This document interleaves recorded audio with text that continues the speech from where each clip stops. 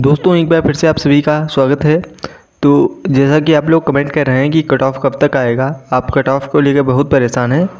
तो एक इंपॉर्टेंट जानकारी है कि महात्मा गांधी काशी विद्यापीठ ने अभी तक कट ऑफ़ क्यों नहीं जारी किया है? क्या रीज़न है कि अभी तक कट ऑफ़ नहीं आया है और कट ऑफ़ कब तक आ सकता है? इसके बारे में हम आपको इस वीडियो में बताएँगे। वीडियो में बने रहें अंत तक और चैनल को भी सब्सक्राइब कर लें। वीडियो को लाइक भी किया करें। और वीडियो शेयर भी करें अपने फ्रेंड के साथ। तो ये बहुत ही इंपॉर्टेंट जानकारी है सभी छात्रों के लिए। तो वीडियो आपको दिखा देते हैं क्या जानकारी है। तो यहाँ पर एक चीज़ देख सकते हैं कि महात्मा गांधी कृषि विद्यापीठ टाइम टेबल के पेज में फंसा हुआ है कट ऑफ़ तो यहाँ पर इसका क्या मतलब है कि बहुत सारे सब्जेक्ट ऐसे होंगे जो इधर उधर हो सकते हैं।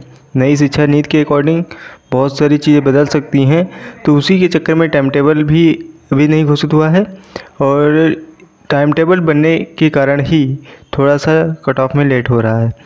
और एक चीज़ ये इम्पोर्टेंट है कि 15 अक्टूबर तक दाखिला पूरा कराने का लक्ष्य रखा गया है।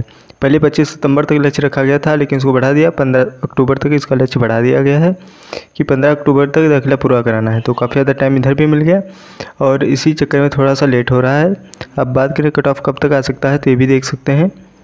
कि महात्मा गांधी का विद्यापीठ प्रशासन, स्नातक व स्नातकोत्तर के विभिन्न पाठ्यक्रमों में दाखिले की काउंसलिंग तीन दिनों के भीतर शुरू कर सकता है।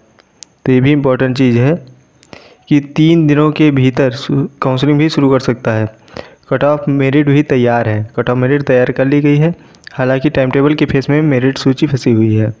स्नातक का टाइम टेबल व कट ऑफ़ एक साथ दो दिनों के भीतर जारी होने की उम्मीद है। मतलब से आज से कल तक टाइम टेबल घोषित हो सकता है।